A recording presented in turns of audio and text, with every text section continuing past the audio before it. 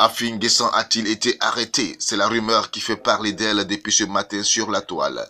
Les Ivoiriens apprennent sans source fiable ce samedi 7 novembre l'arrestation de Pascal Afi Nguessan, président du FPI. L'information annonce que le président du parti créé par Laurent Gbagbo aurait été intercepté à la frontière du Ghana alors qu'il tentait de sortir du pays. Aucune déclaration officielle à l'heure où nous mettons sous plume n'a été faite par les autorités. Il convient de faire attention par ces temps où l'industrie des fake news est en plein essor. Rappelons que hier, vendredi 6 novembre 2020, le procureur de la République, M. Ado Richard, avait annoncé que l'ancien Premier ministre était activement recherché ainsi que le ministre Albert Mabri Toakus. Nous y reviendrons. Le lundi 2 novembre 2020, M. Pascal Afinguissan, s'exprimant au nom de ses partis et groupements politiques, a fait l'annonce de la mise en place d'un organe de transition dénommé Conseil national de transition.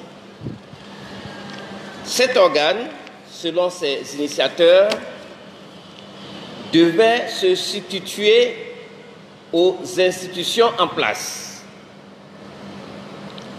Les instigateurs de cet organe ont même annoncé la formation d'un gouvernement de transition.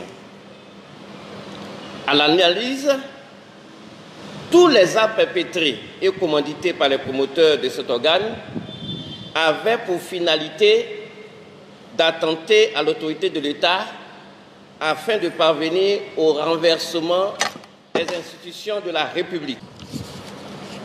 Plusieurs personnes qui ont participé à cette conjuration et qui sont parvenus à prendre la fuite sont activement recherchés. Il s'agit de M. Pascal Afi Nguessan, M. Abdallah Albert Toakeuse Mabri. L'enquête ouverte permettra d'interpeller toutes les personnes ayant participé à quelque degré que ce soit à cette entreprise criminelle.